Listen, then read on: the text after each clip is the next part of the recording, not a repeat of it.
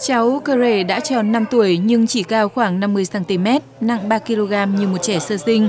Bố mẹ cháu bé cho biết, mặc dù gia đình đã tập trung chăm sóc, nuôi nấng, nhưng bé phát triển rất chậm, mỗi ngày chỉ ăn được vài thìa cơm.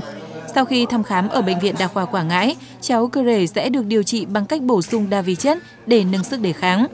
Trong khi đó, cháu Đinh Văn Khít, ngụ thôn Hàng Gòn, thị trấn Di Lăng, huyện Sơn Hà, cũng có thể tạng nhỏ bé tương tự như cờ rể. Cháu này đã 9 tuổi nhưng chỉ cao 78cm và nặng 8kg. Theo các bác sĩ, qua thăm khám chưa phát hiện bệnh lý nội khoa nào ở hai bé tí hon. Nhiều khả năng nguyên nhân khiến các cháu chậm phát triển như vậy là do rối loạn nhiễm sắc thể hoặc rối loạn nội tiết tố tăng trưởng ở tuyến yên. Tỉnh Quảng Ngãi cũng sẽ mời thêm các chuyên gia về địa phương hoặc chuyển các bé lên các bệnh viện tuyến trung ương hỗ trợ hội trần, tìm nguyên nhân, đưa ra giải pháp điều trị.